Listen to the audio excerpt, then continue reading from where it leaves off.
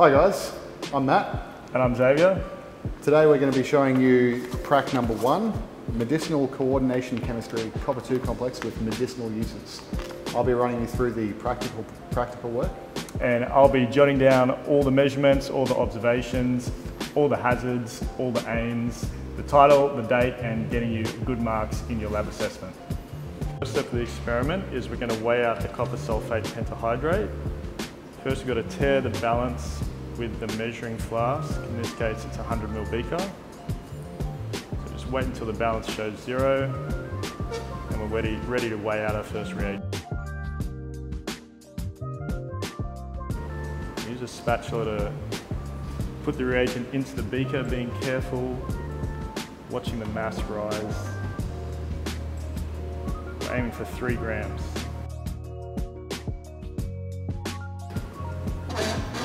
Close the doors on the balance and let it settle.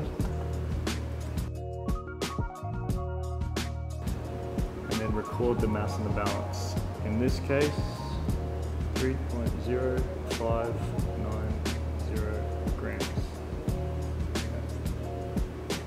All right, the next step is measuring out our water using a measuring cylinder.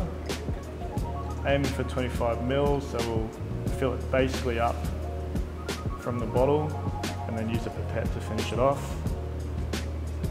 Slowly adding it using the pipette and checking that the bottom of the meniscus is in line with the 25 mil mark. So once again with the water, record the volume that you've measured out in your lab book. So the next step is to dissolve your copper sulfate in the water. You're going to add a stirring bar, magnetic stirring bar, pour the water in and we'll transfer this vessel to a hot plate, heat it up and stir it. So we'll pop this on the hot plate, get the magnetic stirrer moving. We've got the temperature set to just over 100. Going to get the water to almost boiling point until all the copper sulfate's dissolved. So the next step is weighing out our glycine. Once again, we're going to tare the balance with our vessel on it. Wait till it hits zero. Use a clean spatula to weigh out the glycine. We're aiming for two and a half grams.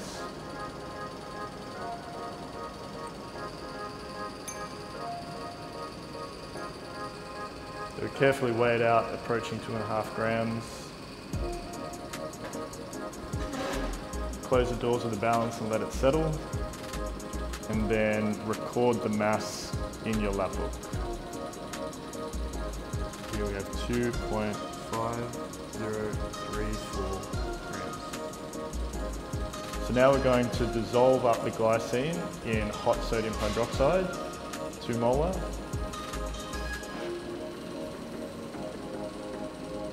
Twelve milliliters using a measuring cylinder. Once again, get close to the mark and then top it up with a pipette. Watching the bottom of the meniscus and making sure that lines up with the 12 mil mark. So I'll add this hot sodium hydroxide into the glycine solution.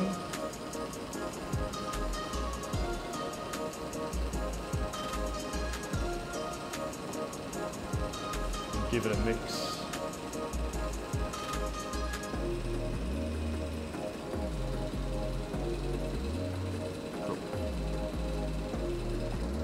Yeah, so just remember as you do the experiment to record observations. Uh, a couple really easy ones to record are the appearance, colour and uh, texture of reagents you use and if that changes when you add them to solvents. So in our case, our copper sulfate were blue crystals and when we added H2O we got a clear blue solution.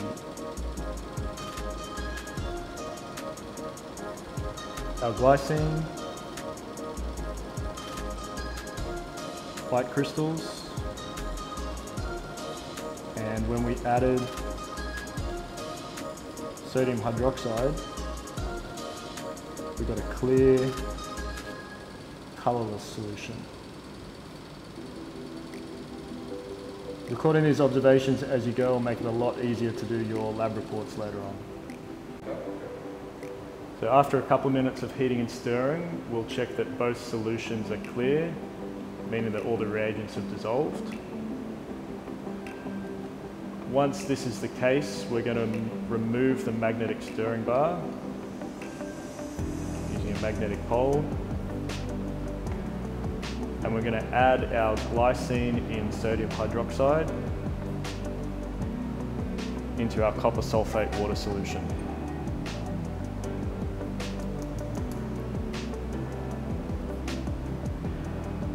Notice a definite colour change to the solution.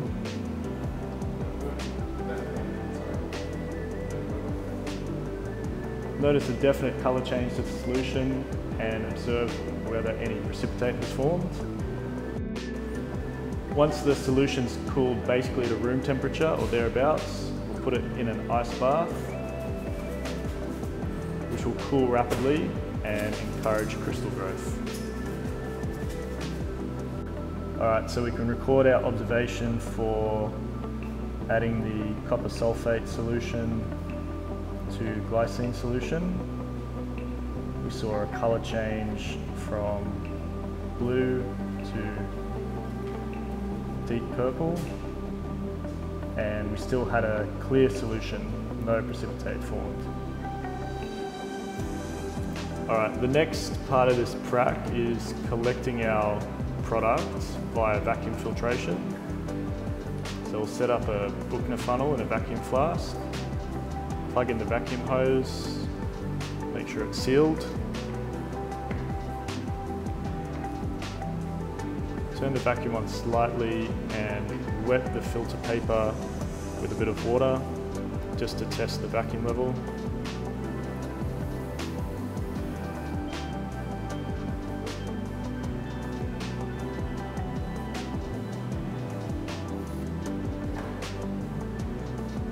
So now we'll remove our solution from the ice bath and you can see that a lot of precipitate has formed while it's cooled down.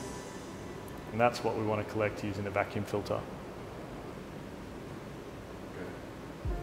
Okay, so now we're going to transfer our product into the vacuum funnel using a clean spatula. So we're just going to gently turn the vacuum on and that'll pull any excess solvent through the filter paper into the vacuum flask. We're drying out our product.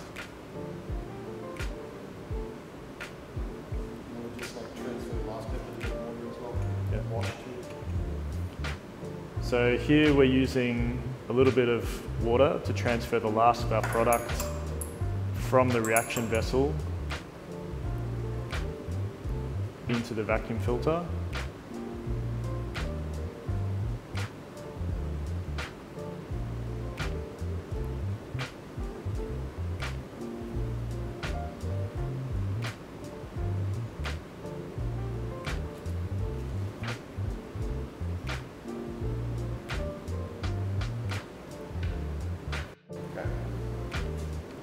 Okay, so the next part of the prac is recrystallizing the product using boiling water.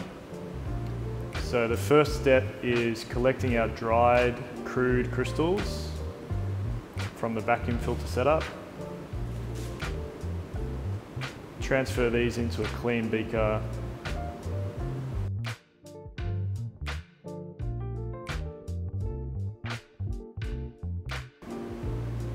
Once we have all of the crude products into our clean beaker, I'm going to get some boiling water off the steam bath and carefully add it into our crude product. At this point, we just want to add enough to dissolve all of the crude crystal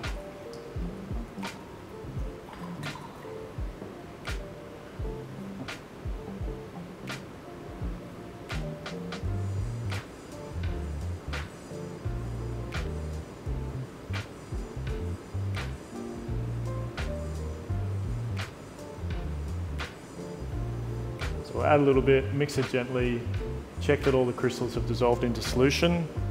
So once all the crystals are dissolved in hot water, we'll add just a touch more to make sure that we don't get any precipitating out when we gravity filter the solution.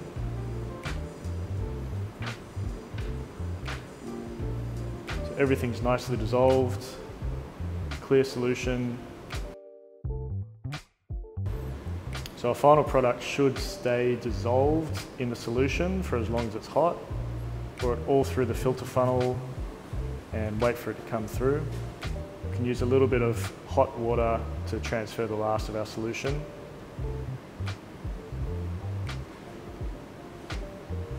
And wait for it to run through the filter. So once all the solutions run through the gravity filter, we can remove the beaker, transfer it back to the ice bath to cool, and this should precipitate out a new crop of purified crystals. So just remember as you go, record your observations. So we can record the cooling of our copper sulfate and glycine solution. We got blue crystals forming.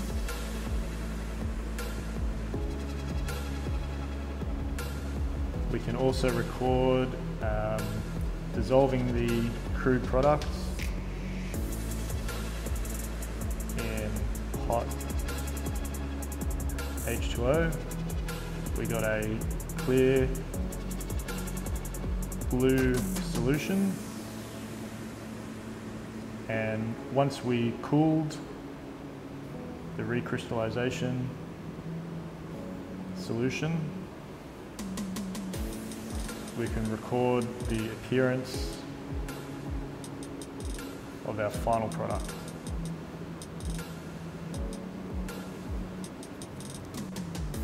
So once the solution is cooled and crystals are formed, we're going to transfer it back into a clean vacuum filter setup.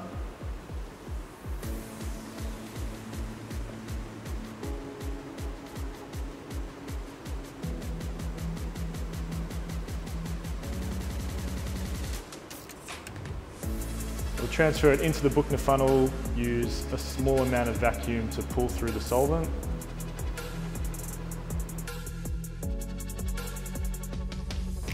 So we're going to use a little bit of acetone to aid the transfer of our product into the vacuum filter.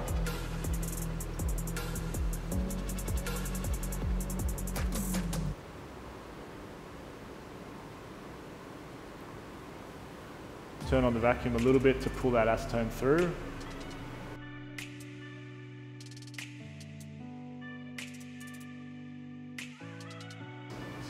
Uh, with the remainder of our 20 ml of acetone, we just give the crystals a little wash. Pull the acetone through under vacuum. That'll dry out our product and we'll collect it. Leave it in a vacuum desiccator for a week to dry it out completely.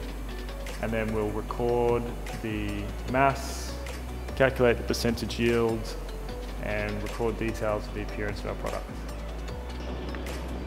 So this is the final product that we've got after recrystallizing. You can see it's a blue powdery uh, sort of complex. So